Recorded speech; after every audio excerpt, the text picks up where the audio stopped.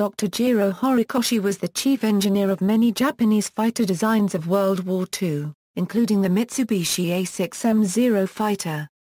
Early life Dr. Jiro Horikoshi was born near the city of Fujioka, Gunma Prefecture, Japan.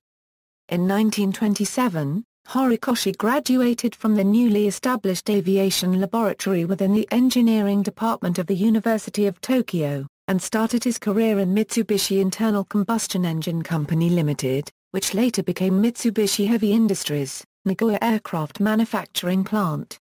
Aircraft designer Jiro Horikoshi's first work was the flawed Mitsubishi 1MF-10, an experimental aircraft that never passed the prototype stage after some flight tests. However, lessons learned from this design led to the development of the far more successful Mitsubishi A5M which entered mass production in 1936. Sometime later Horikoshi and his team at Mitsubishi were asked, in 1937, to design Prototype 12. Prototype 12 was completed in July 1940, and it was accepted by the Imperial Japanese Navy. Since 1940 was the Japanese year 2600, the new fighter was named as Model 00, or 0, or A6M0, in Japan also known as the Remi-Sen. Subsequently, he was involved in many other fighters manufactured by Mitsubishi, including the Mitsubishi J2M Raiden and the Mitsubishi A7M Rep. The wartime years, Despite Mitsubishi's close ties to the Japanese military establishment and his direct participation in the nation's build-up towards the Second World War, Horikoshi was strongly opposed to what he regarded as a futile war. Excerpts from his personal diary during the final year of the war were published in 1956 and made his position clear. When we awoke on the morning of December 8, 1941, we found ourselves a euro without any foreknowledge a euro to be embroiled in war. Since then, the majority of us who had truly understood the awesome industrial strength of the United States never really believed that Japan would win this war. We were convinced that surely our government had in mind some diplomatic measures which would bring the conflict to a halt before the situation became catastrophic for Japan. But now, bereft of any strong government move to seek a diplomatic way out, we are being driven to doom. Japan is being destroyed. I cannot do, anything other but to blame the military hierarchy and the blind politicians in power for dragging Japan into this hellish cauldron of defeat. On December 7, 1944, a powerful earthquake in the Tokai region forced Mitsubishi to halt aircraft production at its plant in Oimachi, Nagoya. An air raid made by B-29s on the Mitsubishi engine works in Daikocho, Nagoya a week later caused extensive damage to the works and a severe setback in production, Horikoshi, who had been at a conference in Tokyo with Imperial Navy officers to discuss the new Rep fighter, returned to Nagoya on the 17th, in time to experience another air raid on the Mitsubishi factories the next day. As a result of the air raid, the company evacuated its machinery and engineers to the suburbs of eastern Nagoya. Horikoshi and the engineering department were rehoused in a school building which had been requisitioned.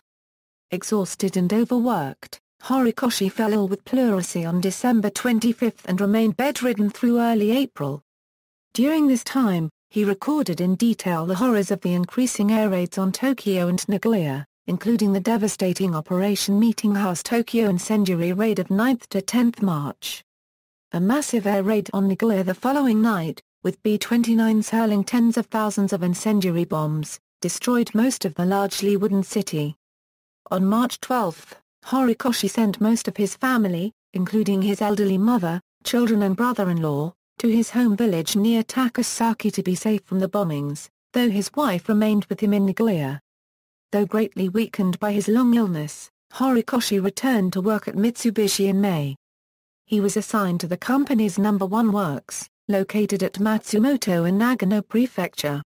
While on the train to Matsumoto, he witnessed the true scale of the war's impact on Nagoya.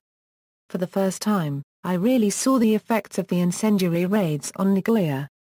The city is a wasteland, charred and unspeakably desolate.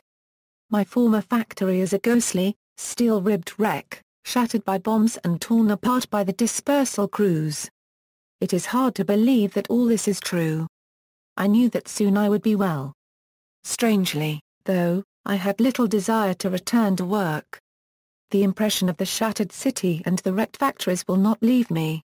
Still very weak, Horikoshi was sent home to rest after only a week back at work.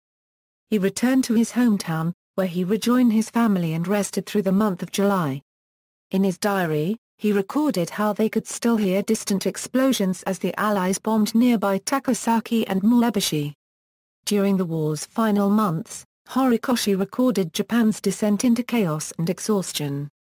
Though he returned to work at the Matsumoto plant on July 22, as Matsumoto had been spared from our raids, he found the workforce demoralized and operations in chaos as a result of the emergency evacuations which had scattered employees and workshops around the country. Most of the remaining Mitsubishi employees abandoned all efforts to work by early August and prepared for Japan's defeat and surrender, which finally came on August 15. Later Life, incorporates translated material from the corresponding Japanese Wikipedia article, after the war, Horikoshi participated in the design of the YS-11 with Hidemasa Kimura. He subsequently left Mitsubishi and taught at educational and research institutions. From 1963 to 1965, he was a lecturer at the University of Tokyo's Institute of Space and Aeronautics, and was subsequently a professor at the National Defense Academy from 1965 to 1969. Between 1972 and 1973, he was a professor of the Faculty of Engineering of Nihon University. In 1956, Horikoshi collaborated on a book about the Zero with Okumiya Masatake, a general in the JASDF and a former Imperial Navy commander who had led Zero fighter squadrons during the war. The book was published in the U.S. in 1956 as Zero, The Story of Japan's Air War in the Pacific. In semi-retirement by the early 1970s, he served as an advisor to the Society of Japanese Aircraft Constructors, and continued to receive letters from aircraft enthusiasts around the world. On a trip to New York, he traveled to Long Island and stayed in the Garden City Hotel where Charles Lindbergh had spent the night before his solo transatlantic flight in 1927. In the 1973 Autumn Honors List, Horikoshi was awarded the Order of the Rising Sun, third class, for his achievements. His memoir regarding the development of Zero was published in Japan in 1970, and was translated by the University of Washington Press as Eagles of Mitsubishi, The Story of the Zero Fighter, which was published in English in 1981.